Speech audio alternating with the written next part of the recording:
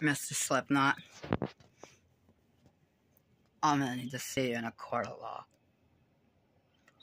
I'm gonna press charges for you for you cutting my hair and making me look like a short boy. I don't like gay men. I'm not gonna prance my ass for you. I asked to pay money for somebody compatible with me. This is bullshit. I'll pull you out and drag you out of your skin publicly in front of the courthouse if you try once so fucking ever to touch me again and cut my hair. You grow my hair back. And you make my face not swollen and sick with food allergies, and you stop poisoning me.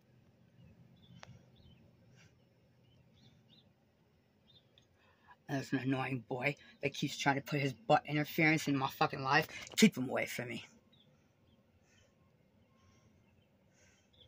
You couldn't pay me a million dollars to beg you to fuck me. I asked for help for hire for thousands of people that you know. Now this what you're doing, woman and female hate is bullshit.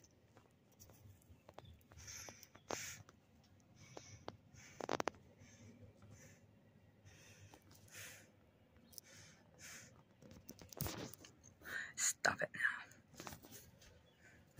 Leave me the fucking hell alone.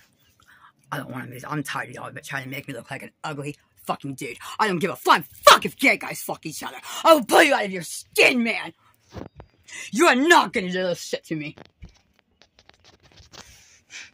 If I have to fucking shoot you to be free of you, away from you, I will.